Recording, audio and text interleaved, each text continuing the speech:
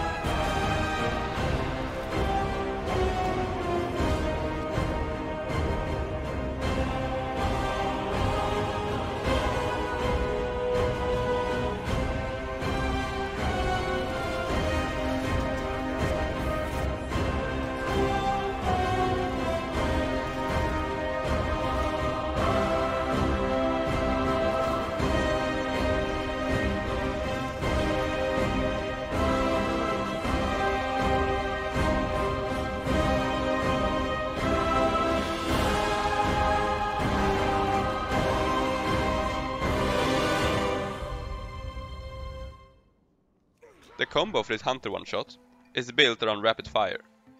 Rapid Fire receives some massive buffs going into Shadowlands. However, on its own, it's not really a one-shot since it's a channeled ability, with the damage happening over a second or two. Good thing is that the travel time on the shots are not that fast compared to your other abilities. So we're gonna do a similar strategy as I done before, trying to travel along with Rapid Fire, to make all the bullets hit the target at once. To do this, we're gonna use engineering nitro boots to make it travel at 300% increased movement speed. This will make all the bullets hit within half a second. The next step is getting rapid fire strong enough. I'm at quite low eye level when doing this, but other than consumables and the usual talents, streamline and double tap, we're gonna use two different Azerite sets we're gonna use Unerring Vision for the crit boost. If you unequip the Azerite pieces after the buff is done refreshing, uh, which happens at the last 4 seconds, the crit boost will remain after you exchange gear pieces. The other Azerite set we're using is Surging Shots and Focus Fire, considerably increasing the damage on the rapid fire. The wonderful thing about the combo is that you don't need to kill any toads to stack up your power beforehand. You will even be able to stack up everything you need in stealth, waiting for your prey. They will only have about a second or two to react, when you catch your blood enemy coming out of stealth. The whole combo is the following. Use your True Shot while in your Unerring Vision gear. Wait until it's about to drop off, and then you change into your Azerite gear with Rapid Fire bonus. Use Consumables and Blood Enemy. Then your Nitro Boots, as well as Rapid Fire enemy to destroy them. I do have a few macros I use, and I'll list them in the description. Thank you all for watching, and stay tuned for more.